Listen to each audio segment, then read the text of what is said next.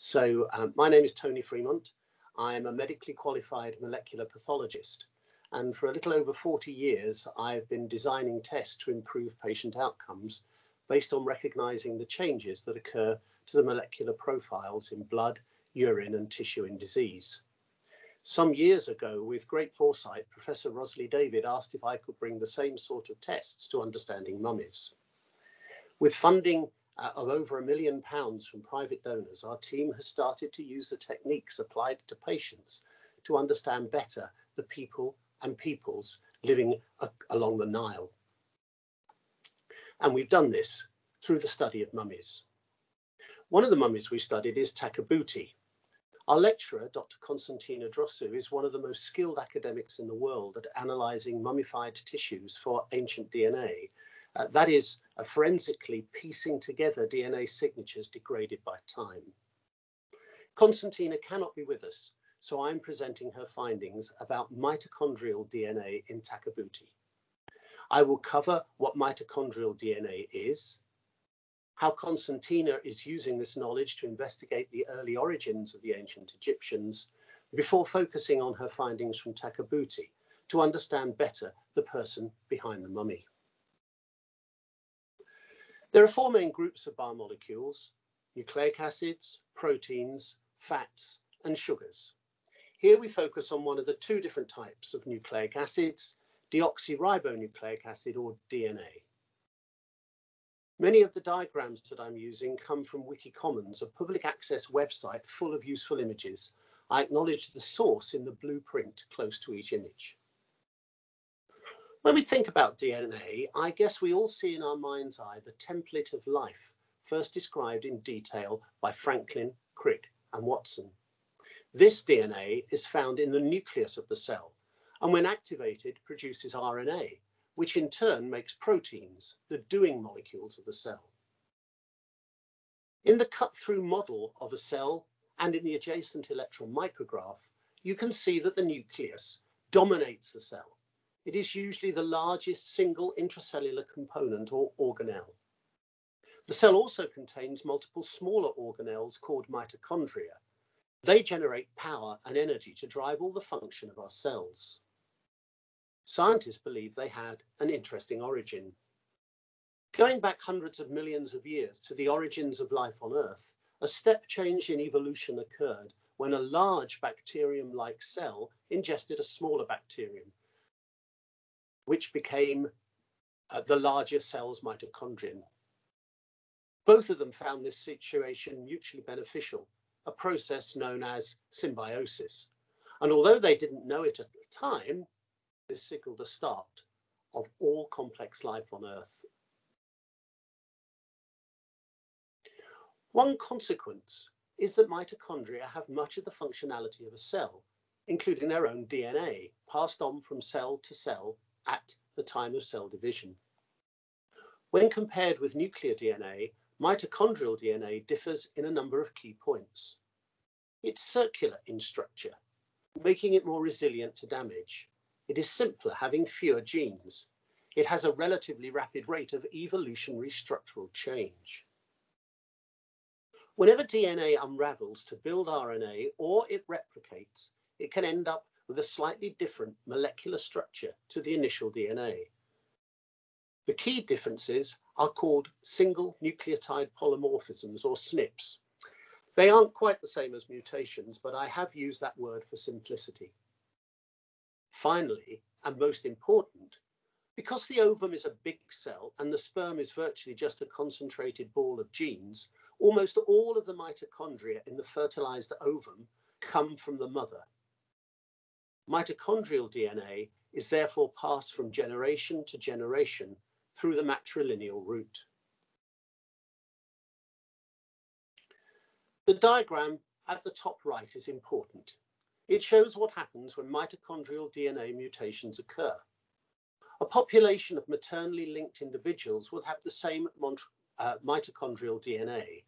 This is shown by the blue circle mtDNA1. As part of the natural behavior of DNA, every now and again a SNP occurs.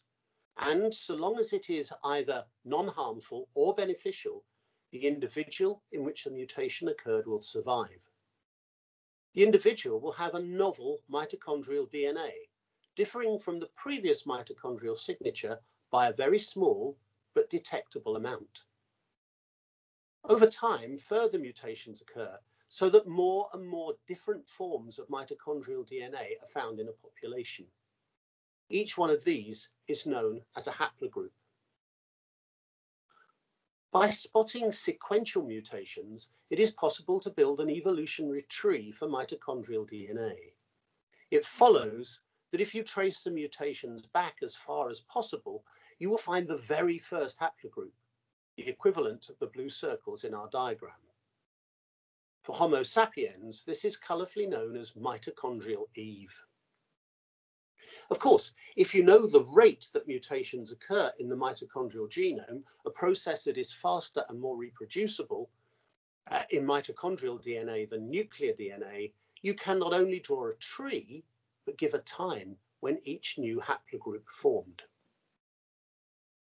If you suspect that changes in mitochondrial DNA not only occurred in time, but also in naturally migrating creatures like modern man in geographic space, you could follow population movements around the globe, or at least from place to place. This has been done for our species, Homo sapiens, leading to the development of this map. It shows how and when, after thousands of years of colonizing sub-Saharan Africa, Homo sapiens suddenly left Africa and progressively spread throughout the world. Remarkably, our oldest haplogroups, designated L, remained in sub-Saharan Africa. But as soon as the out of Africa event occurred, new mutations arose to form haplogroups M and N. Further progressive changes in haplogroups occurred with time as modern humans spread across the world. Tracking back in time and place to this out of Africa event suggests it occurred about 70,000 years ago when sapiens crossed the bottom of the Red Sea from modern day Djibouti to modern day Yemen. This is great, but it doesn't quite fit all the logic lines or archaeological data. It causes us to ask some pointed questions. Why cross the Red Sea when you could go down the Nile? The Nile is a relatively easy route to traverse, the land on either side and the water rich in game and useful plants. Central to this out of Africa model is a poorly understood series of mutations leading to M and N haplogroups. But the lack of clarity about this period in mitochondrial DNA evolution gives rise to some inelegant hypotheses which, like everything that isn't simple and beautiful in biology, are less than convincing. It also relies on us using modern populations to determine where events occurred tens of thousands of years ago. And finally, we know that there are modern human fossils in Northwest Africa, Europe and Asia that are much older than can be explained by an event that occurred only 70,000 years ago. What is needed is real temporogeographic data to test this hypothesis. Konstantina is addressing this problem by looking into the haplogroups of communities in the Nile Valley from the second and third millennia BCE. This gives real time and real geographic data and comes from the only place on Earth where you can answer the question, did humans really ignore the Nile when migrating from sub-Saharan Africa?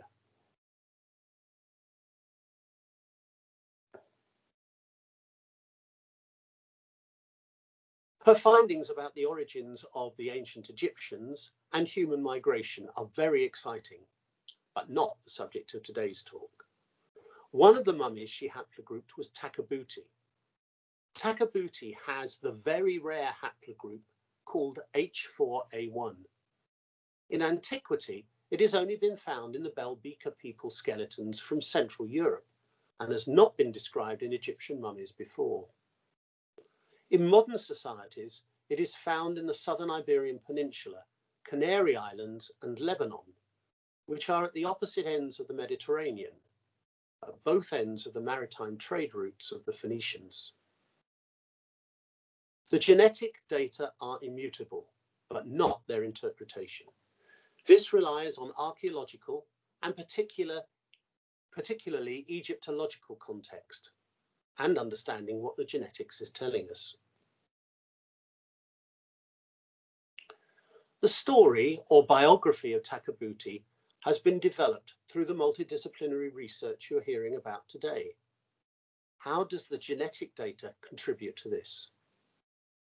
The genetics tell us that Takabuti does not have any of the predominant haplogroups found in ancient Egyptian mummies, and that she or her female ancestors very probably originated outside the Nile Valley.